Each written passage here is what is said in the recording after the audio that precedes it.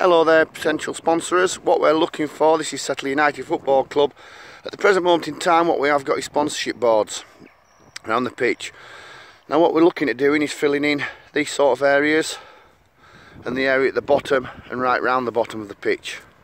So as you can see at the moment these are the sponsors we've got at the moment.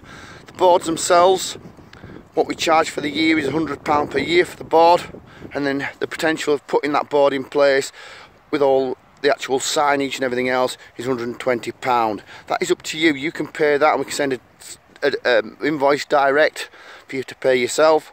But that's what it costs us to get these put up in place 120 pound. So it's 100 pound per year. And what we're looking for is potential sponsors Settle United Football Club. So we can get this field looking absolutely fantastic. Thank you very much.